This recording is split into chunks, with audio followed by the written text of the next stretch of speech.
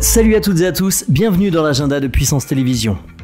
En partenariat avec la ville de Saint-Dizier, l'association nouvellement créée Le Petit Savornin proposera aux bragards et aux touristes des balades en bateau le long du canal au départ de la presqu'île. L'occasion de découvrir ou redécouvrir sous un nouvel angle les villages qui bordent le canal. Promenade fluviale au quai Lamartine de Saint-Dizier.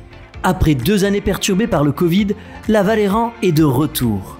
Retrouvez la célèbre randonnée pédestre et VTT à Lignan-Barrois le dimanche 10 juillet 2022.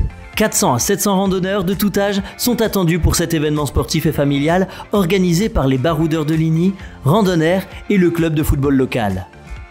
Cette nouvelle édition vous proposera 3 parcours VTT et 4 parcours marche entièrement nouveaux. Alors sortez vos baskets.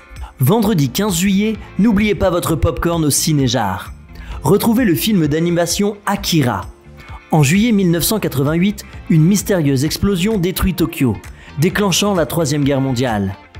31 ans plus tard, en 2019, Neo Tokyo fait son apparition. Entre chômage, drogue et gangs rebelles plongés dans ce monde sombre. À découvrir au Parc du Jard de Saint-Dizier à 22h30. Entrée libre. Du 11 au 29 juillet, venez vous détendre les pieds dans le sable grâce à la ville de Saint-Dizier. Au programme, des mini-pédalos, toboggans aquatiques et jeux de plage pour vous faire passer un bel été à Saint-Dizier au pied des remparts. Prenez le temps d'un instant et venez souffler dans votre ville. Entrée libre.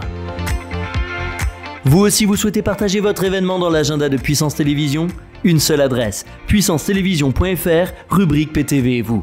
À très vite